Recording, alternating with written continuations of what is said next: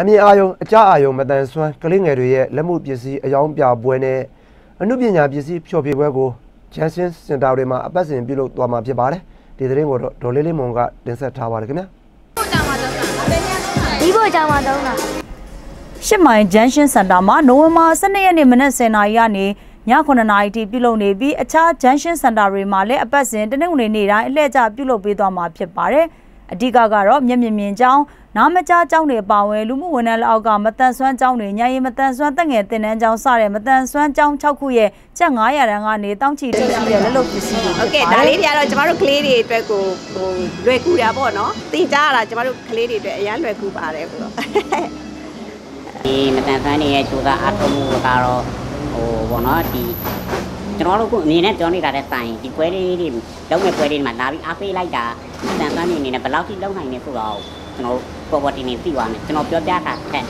လက်တွေ့ကိုမြင်သိမြင်သိခြင်းနေအဲ့တော့ပွဲလေးကိုဖိတ်ခေါ်ပါတယ်ဒါရောက်အားပေးဟုတ်ကဲ့ပါ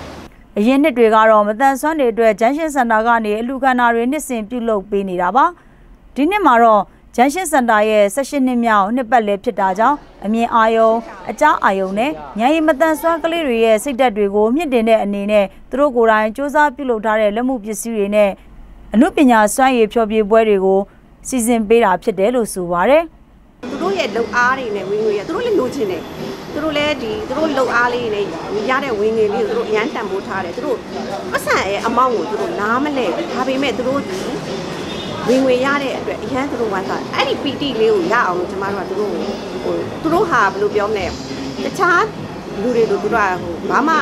မလုံနိုင်တဲ့လူတွေမဟုတ်ဘူးလုံနိုင်တယ်သူတို့မှလည်းစွမ်းအားတွေရှိတယ်သူတို့မှလည်း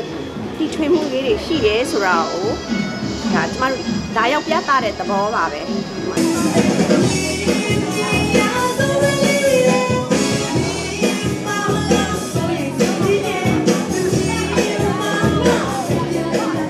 ဒီပွဲမှာအလူခံဘုံတွေလည်းထားရှိပြီးရရှိတဲ့အလူငွေတွေကိုဂျန်ရှင်းစင်တာအဖွဲ့ကနေစီစာရိတ်ဂီလာနာဘိုးဘွားရိတ်တာဒုက္ခရိတ်မျိုး HIV ပိုးကူးဆက်ခံပြီးပါမဲ့ထံနာစိတ်ကျန်းမာရေးစေယုံနာမကြအကြောင်းအပါအဝင်ဖုံတော်ကြီးပညာသင်ကျောင်းနဲ့လူငယ်ဖွံ့ဖြိုးရေးပရိဒတ်ကျောင်းတွေကိုတူရန်သွားမယ်လို့ဆိုပါရယ် Itu